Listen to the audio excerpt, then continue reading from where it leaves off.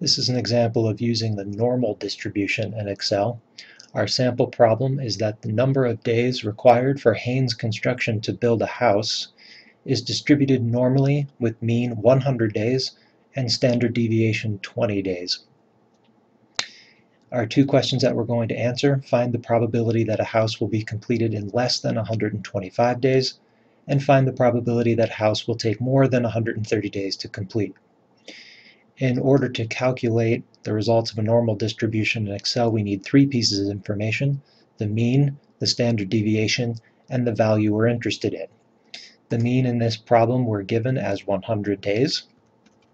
The standard deviation is given as 20 days. And for the first question, the probability that a house will be completed in less than 125 days, the value of interest is 125. In Excel, the formula for normal distribution is equals norm dot dist. In previous versions of Excel, the dot will not be there. When we open parentheses, Excel tells us what it needs. Uh, first, it needs what it calls x. That's the value we're interested in, 125. We then need the mean of the distribution, 100. The standard deviation of the distribution, 20 and we need to tell it if this is a cumulative distribution or not.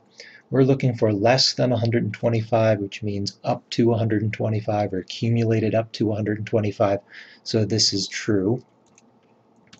When we close parentheses and hit enter, Excel tells us that this probability is 0.89. The probability that the house will be completed in less than 125 days is 0.89 or about 89%. In the second question, it's asking for the probability that a house will take more than 130 days to complete. This is a very similar problem except for two things. One, our value of interest is now 130.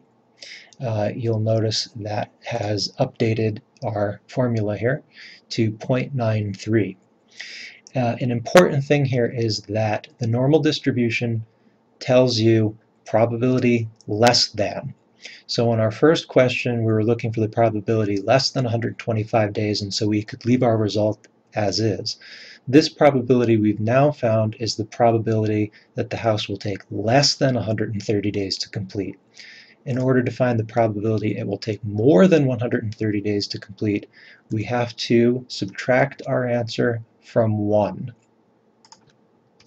So if it takes 0.93, if the probability is 0.93 that it will take less than 130 days, the probability is about 0.07 that it will take more than 130 days.